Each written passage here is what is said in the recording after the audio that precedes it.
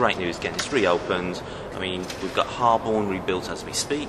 Uh, next month, in the next few weeks, we'll be giving the go-ahead or kick-starting the rebuilding of Sparkhill uh, pool, and you know, it shows our commitment to one community pools, and we still are committed to uh, building a 50 metre pool.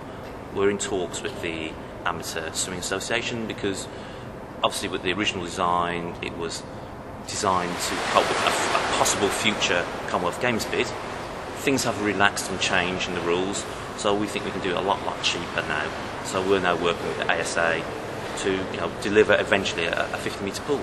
I think that's an important message to people that we're not standing still on our, on our pools No, programme, are no, we at all? No, no, no. We're committed to uh, you know increasing participation in sport generally, and swimming is one of our core sports. And as well as having a 50 metre pool, we are committed to our community pool as well because we want to have our grassroots pools, but also you know, have the elite pool so that you know if we do have uh, any potential Olympic gold medal winners, winners, and also don't forget for our clubs as well because we have lots of active swimming clubs in Birmingham. We've got facilities for them.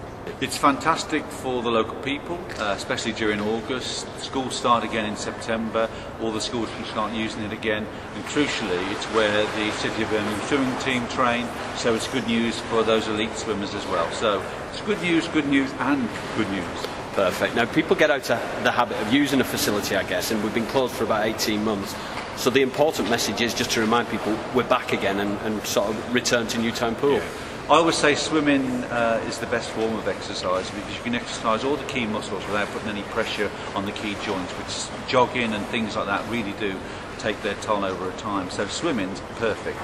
And Ladywood's got some of the poorest health in the city, so people of Ladywood in particular should come along, get fit and healthy, and look like a 21 year old rather than the 50 odd year old that I really am. So um, come along, enjoy it, and get fit and stay healthy.